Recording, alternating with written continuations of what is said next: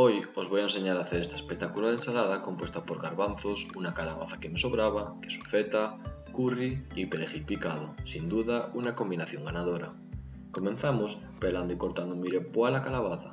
Cuando la tengamos, la haremos en la air fryer o en el horno 5 minutos a 180 grados. A continuación, lavamos los garbanzos para eliminar impurezas. Yo he usado garbanzos ya cocidos por falta de tiempo, pero vosotros los podéis cocer perfectamente. En un cazo, con un poco de aceite, saltearemos las legumbres junto con la calabaza. Cuando estén bien dorados, añadimos el curry.